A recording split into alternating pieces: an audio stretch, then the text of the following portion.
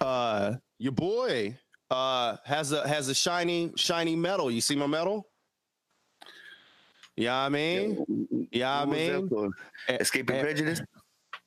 oh no, no, I'll, well, there never be a medal for that because that will never end. Uh, yo, your boy is uh can now officially say uh Arizona verse. I have completed a half marathon. 13.1 miles. That's uh, the reason why there has been no podcast for the past uh, two weeks from uh, the Arizona Soul Duo is that uh, two weeks ago I had to spend at least one day training because I didn't train for this damn thing at all because, you know, that's how I do it. I do shit the hard way. What and, uh, training really quickly? So, like, uh, committing a crime, having the cops chase you, see if they catch you.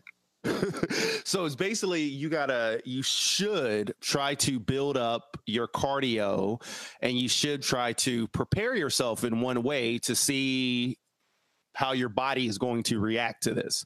Uh because uh, uh, i i now understand uh, the um, what is it? The the all that comes in with doing a marathon or whatever. And so my one of my bosses, because uh, we did this, it, it, was through the job. It wasn't like mandatory through the job, but it was something that the job paid for.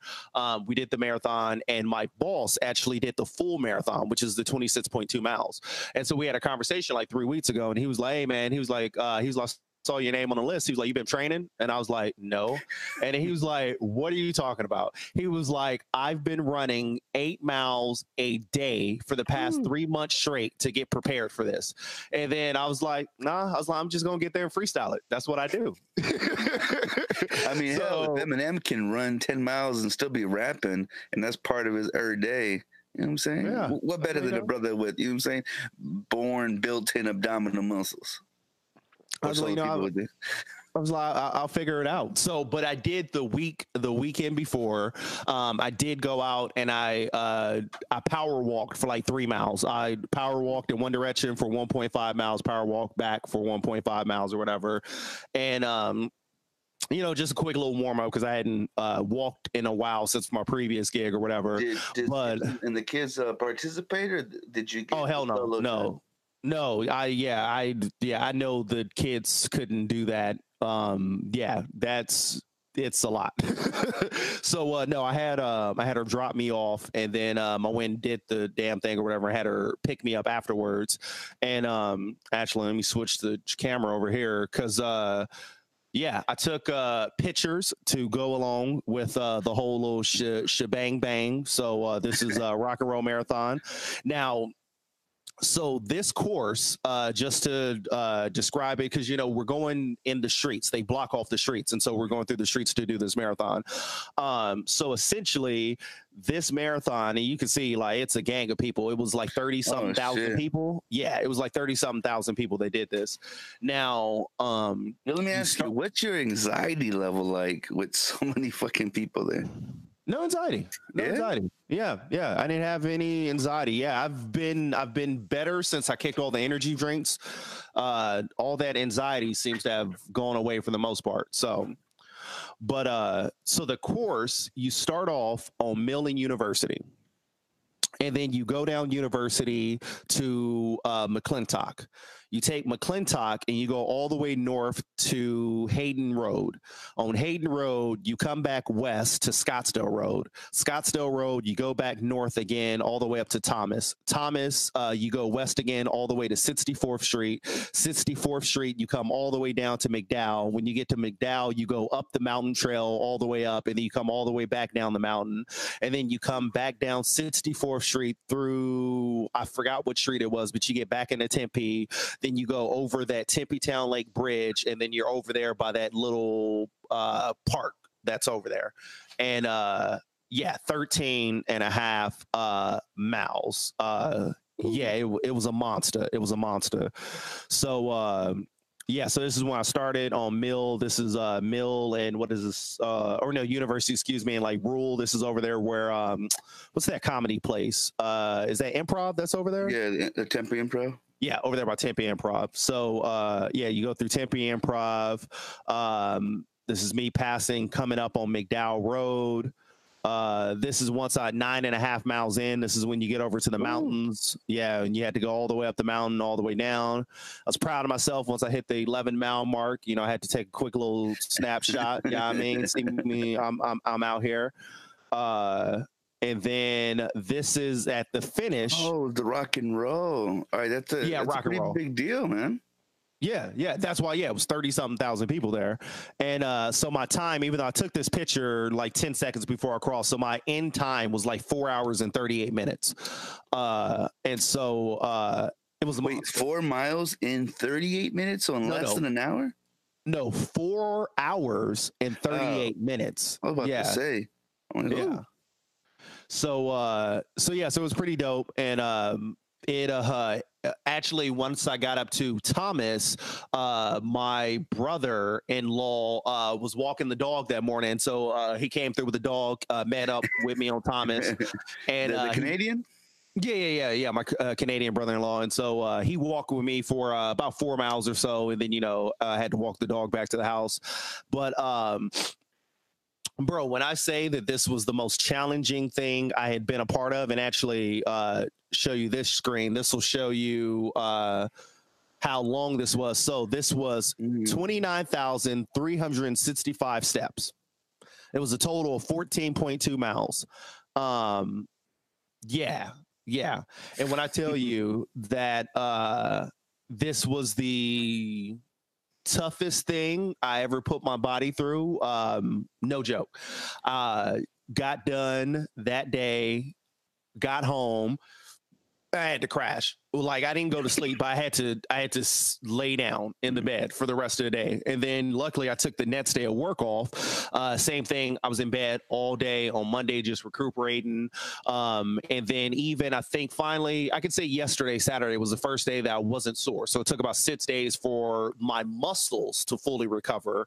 Um, but I can tell you since I've done this marathon, um, I've been having a I'm still rehydrating my body. Like this takes a toll on you. So I, I like I get it now. And when uh, you see those pictures of people in the Olympics that do those marathons, and you know how they're trying to finish and their legs is all shaky, and like I get it now.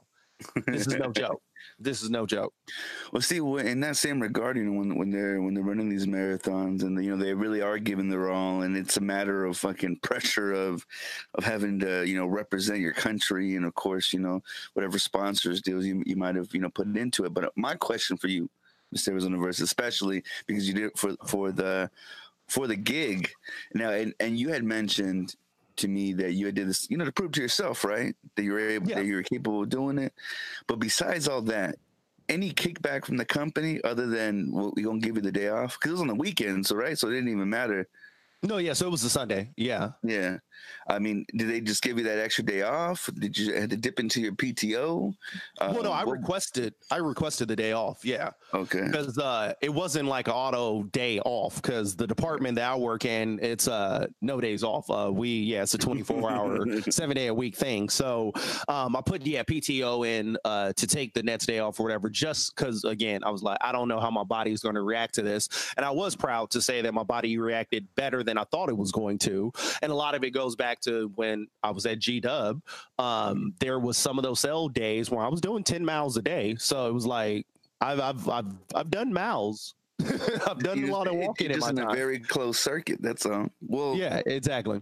Well, no, seriously, man. I, I know how fucking big of a deal it is, and with, with that, because again, you, were you speed walking the whole time? Were you running? Were you trying to keep your stamina and it, it be just an endurance race? How did you How did you approach that? So no, I power walked for the majority of it. Um, so, I did have like two bursts where like I just like when I stopped to use the bathroom and then because uh, you know it's porta potties all over the place, and then so uh, if I had to stop to use the restroom or wherever, I would jog for a little bit or whatever just to get me back in rhythm and then try to catch back up with where I was at in the group. You know, because you kind of spot people like, oh, that's I was up over there.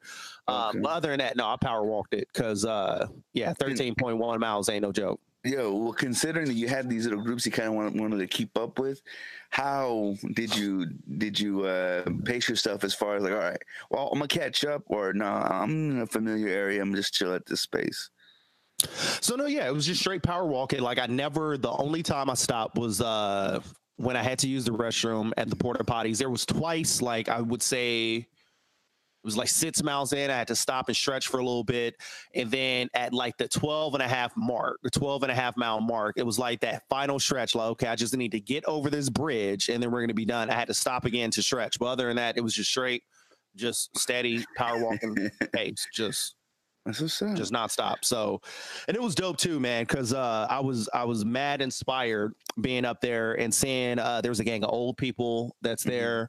Um, I saw a man that was I don't know what his handicap was, but he had two walking sticks He's doing the uh, half marathon with the walking sticks. Mm. Um, I saw families who had like disabled children in like wheelchairs, and they're doing the marathon, pushing their kids in the wheelchair. Like I was mad inspired seeing all these people around me. Like it was like this is something. So it's actually dope because um, I can say now. Um, this is my new shebang bang. So uh, actually, me, the brother-in-law, sister, and uh, the wife skips. We are talking about doing a 10k at the end of uh, February. So I think this is my new thing. I'm gonna try to uh, at least every other month. Um, I'm hitting up some type of marathon, 10k something. Because yeah, that's that's crazy. You can do within a month's notice. Because my my uncle, um, shout out to my creepy uncle Mercy. Uh, he always like is doing these things. He'll come to Phoenix, you know, from Yuma to because apparently we have this shit up very very often, and yeah. uh, he'll go to you know little thing locals around, and it takes you know what I'm saying. Some people will take half a year to train for this one. You know what I'm saying? What people would think would be a measly ass event. No, they they you know what I'm saying. They they want to make sure not only can they best themselves, and it becomes an internal competition. Even though you see mm-hmm. people with more you know disabled uh functionary bodies you know what i'm saying wanting to shit on them yeah. so it's like it, it kind of it uh it stimulates both ends so to speak from what yeah. i've noticed so that's and what, up, man. And what was dope too, it was funny because so, you know, you have the half marathon, 13.1 miles, then you have the full marathon, which is 26.2 miles. And we didn't start at the same area, but we all met up the very last mile of both of them met up because we finished at the same area. And so it's it's crazy because you could tell the difference between the half marathoners and the full marathoners. the, They're way more past halfway dead. Well, so the half marathoners, you know, we're at the 12 mile mark for our last mile, and then the full marathon people are at the 25 uh, mile mark uh, of their marathon when you know we're starting to meet up with each other. All of us half marathoners, we're walking, we're walking that last little mile, trying to get it, get through it. All those full marathoners at 25 miles, they still jogging just still going, just still jogging. And uh, so I was like, it was crazy. It was like you could definitely tell the difference because all of us are like 12 miles in, like we dying trying to just make it this last little bit. But uh, those full marathoners, yep, still still running, still going. So I was like, wow, wow. Good. And it it was funny too because the other thing that um, I've learned from this, uh, if you're ever uh, backed up and you need to clear out your bowels, yeah, just go do a half marathon. That seems to uh, end all bowel issues um, I got to the 11 mile mark, and I'm not a porta potty person or whatever, but I got, uh, you know, I had to pee, you know, a couple times throughout the event because you know you're drinking a lot of water as you're going. Every every other mile, there's uh, these little water areas where as you're going, the people are standing there with the cups, and so as you go by them, you grab the cup, drink the water, toss it. Um, once I hit about the uh, 11 mile mark, uh, I had to hit that porta potty and I had to clear out my bowels. Boy, I've dropped about 50 pounds in that porta potty. And since then, it was like three days in a row just flushing out. Like Ooh. my bowels were just emptying. It was like, wow. So if you're ever constipated, um, hey, just go do a half marathon. You'll you'll be you'll be straight. You'll be straight. I heard I heard anal helps the very same way. I, I, I can't say I've tried that. So, Yo, but- oh yeah. If you didn't like this podcast, it's probably cause you're racist. Yeah. Fuck your feelings though. yeah. What's up, man? You hear me?